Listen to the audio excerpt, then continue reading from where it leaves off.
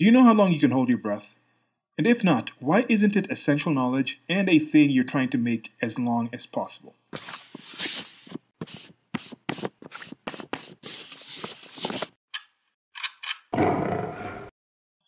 So, just thinking about this, as we're going through the current situation all over the world, there's a lot of things with covering your airways.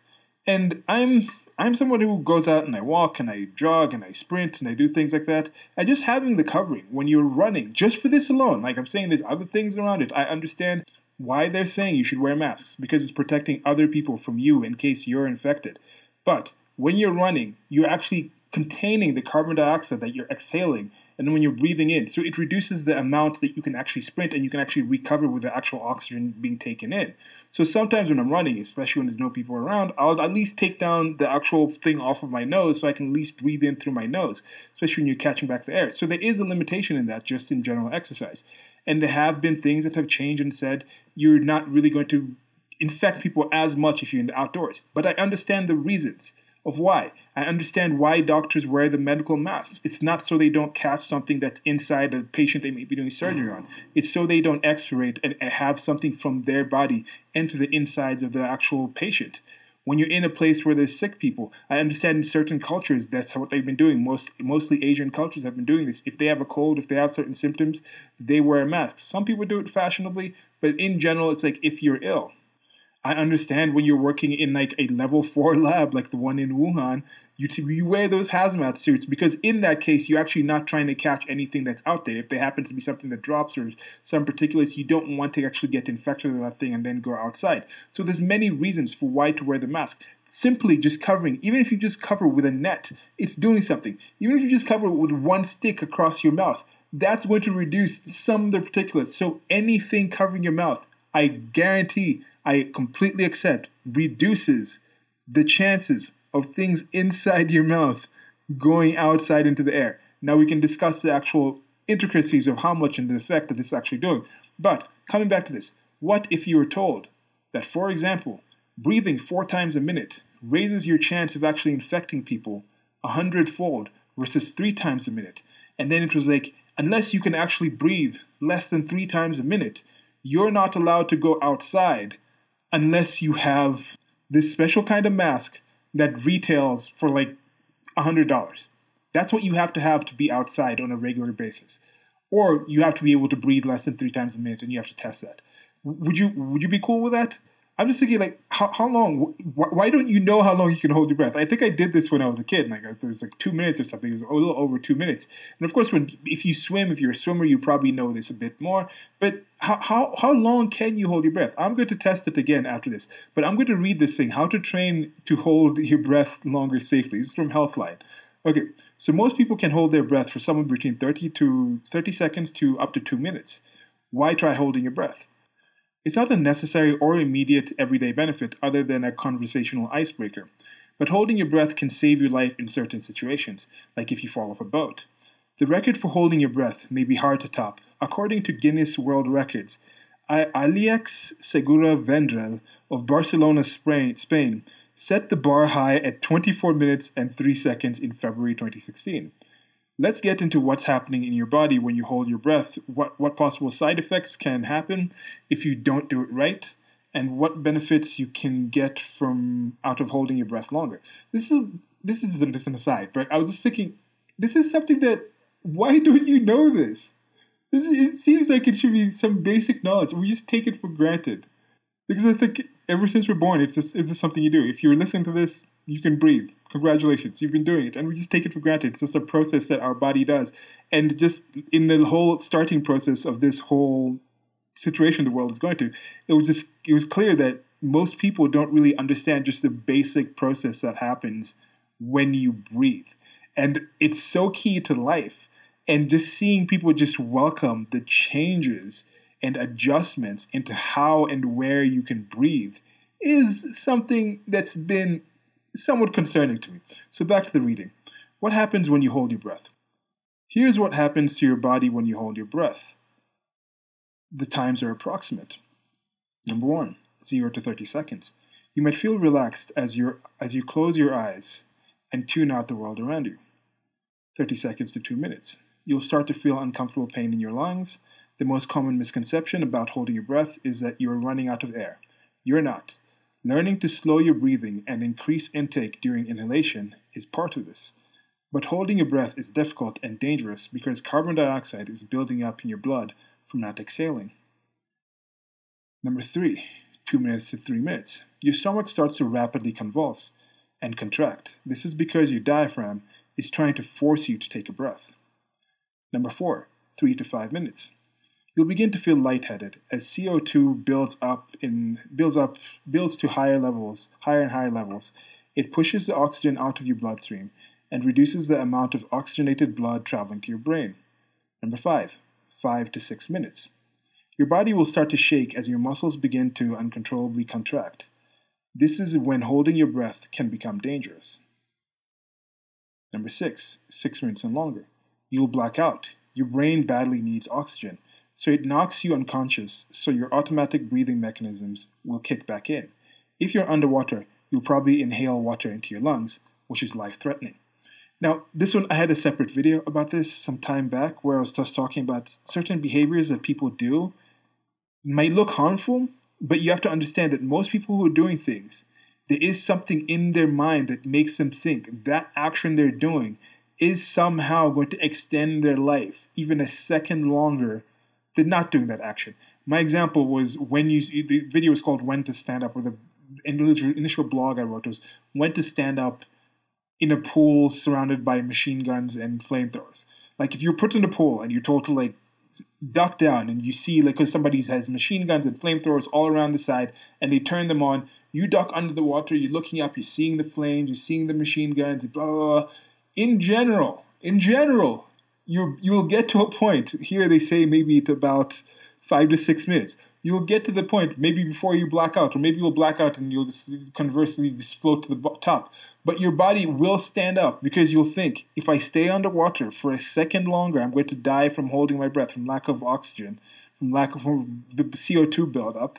So i'd rather stand up and even catch a split second more of life, even though that's going to be flamethrowers and machine guns to my head right after I stand up, because it's just I have to do this other thing to live.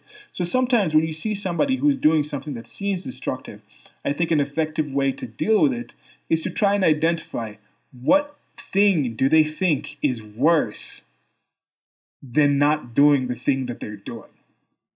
Okay, back to the reading. Side effects of holding your breath. Holding your breath too long can have some side effects, including low heart rate from lack of oxygen, CO2 buildup in your bloodstream, nitrogen narcosis, a dangerous buildup of nitrogen gases in your blood that can make you feel disoriented or inebriated, common among deep sea divers.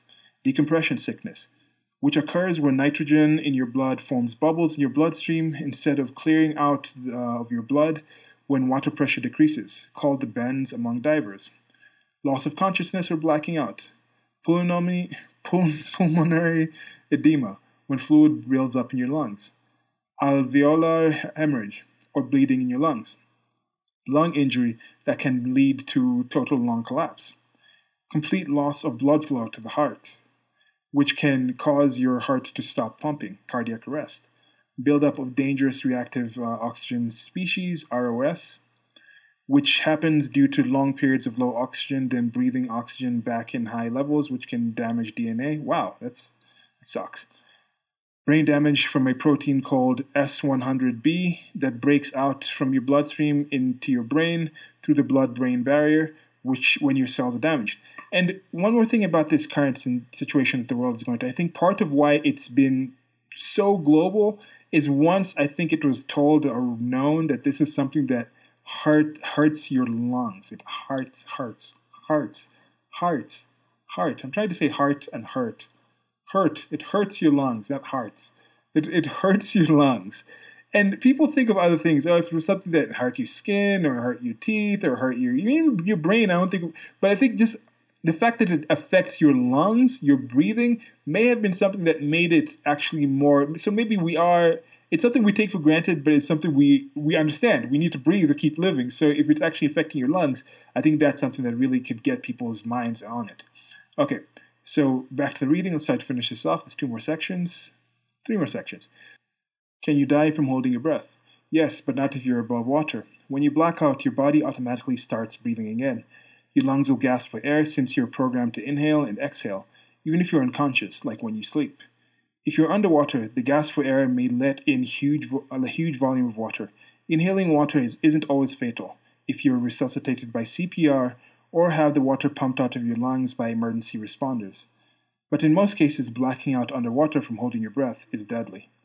Holding breath benefits. Holding your breath, as well as generally improving breathing and lung function, has useful potential life saving benefits, including increasing lifespan by preserving the health of stem cells, possible regeneration of tissue in the brain to preserve brain function. This is theoretical in humans, though. Studies have only been done in salamanders. Let's do some more studies on humans. I want to know about that one. Increasing resistance to bacterial infections, learning how to make yourself feel relaxed, how to hold your breath longer underwater. If you're interested in holding your breath longer, be sure to go slowly. Use common sense. Stop and breathe normally if you're feeling dizzy or have any symptoms of oxygen deprivation. Here's a step by step guide on how to guide yourself to hold your breath longer. Number one, learn how to take a deep, full breath. This involves your belly moving up and down rather than your shoulders and chest. A full, deep inhalation usually takes about 20 seconds before you exhale do exercises to number two do exercises to increase your lung capacity try box breathing or diaphragmatic breathing number three learn to hold your deep breaths according to co2 static apnea tables often used by freedivers this practice consists of holding your breath for one minute and then resting by breathing normally for 90 seconds then repeating that hold for another minute you then gradually reduce your normal breathing rests by 15 seconds each time Number four, learn to store oxygen by following oxygen tables. It consists of holding your breath for one minute, breathing normally for two minutes, and then increasing how long you hold your breath by 15 seconds between each rest, which remains two minutes each time. Number five, alternate between CO2 static apnea and oxygen table exercises each day. Take a few hours of your off between each exercise. Number six, gradually increase the amount of time you hold your breath in your oxygen exercises by 15 seconds increments. Don't rush this part. Hold your breath until you start to feel symptoms like lightheadedness. Increase your times as you feel safe and comfortable. Number seven, stay still. Moving uses oxygen in your blood, so staying still when you hold your breath preserves the oxygen you are holding in. You can also try to slow your heart rate using vagal maneuvers or vagal. Vagal maneuvers. So the takeaway Holding your breath isn't just a pool, a pool party trick. It can save your life in certain situations and may have other physiological benefits. If you'd like to learn how to hold your breath longer, don't rush into it. It can be harmful or deadly if, done, if not done with safety in mind. Take your time and try different techniques to see what works for you. So that's it for my shorty series where I take short thoughts and then I expand on them in video form, and sometimes I go online and I look for more research and information and think about the things. And I'm going to be practicing some of these things. I'd like to see if I can get my breath holding to above average. If it says it's supposed to be 30 seconds or that it is 30 to 2 minutes, I'd like to get to around two and a half minutes, two and a half minutes maybe. What was what's the actual thing here? Let's let's see the actual things that we're saying that are going to happen to your body when this happens. I'm not getting to the point where I'm like, okay, two and a half minutes to three minutes. Your stomach starts to rapidly convulse and contract. This is towards your diaphragm. Yeah, I think I'd like to get to two and a half minutes maybe, and then uh, and then we'll see that maybe three minutes. Push three minutes of the feeling lightheaded. I'd, I'd like to see that. Then I'd like to maybe get to a point where at least two and a half movement minutes with slight body movements and exertions. So if you ever get to a situation where like a car goes off a road and into the water, have two and a half minutes to kind of unbuckle my belt, try to like jimmy the door open, try to like swim back up to the top of the, the to, the surface of the water. Something. I just I just want something practical. And I think if I can get it to two and a half minutes without just passing out or just lightheadedness so much or just too many of the whole convulsions and things like that, then I think that would be a good enough place where I can be like, yeah, I'm kind of prepared. I'm I'm in a in a comfortable enough position to to fight the actual situations where I would have to hold my breath. So let me know what you think about this. Let me know if you know how long you can hold your breath. Let me know if you think it's something that you actually look into now that this question has come up. And uh, what other processes, or are there any times, actually, that's interesting. Are there any times where you found that you had to hold your breath and this was useful? And what do you think about that initial question I asked? What if they said you had to be able to breathe at a certain breath level, three breaths a minute, no more than three breaths a minute, otherwise you're not allowed to go out unless you have this $100 mask. $100 all around the world. So even if you live in like a third world developing country slum, if you're not breathing less than three minutes, three breaths a minute, you're not allowed to leave your, your shanty unless you have this $100 mask. What, what would that take if there's no vaccine to this? Would you, would you approve of that? Let me know what you think. Till next time, like if you liked it, dislike if you disliked it. Let me know what you think in the comment section. Links to a merchandise store somewhere around here. Subscribe if you're not subscribed yet. I appreciate you taking your time. Till next one, goodbye.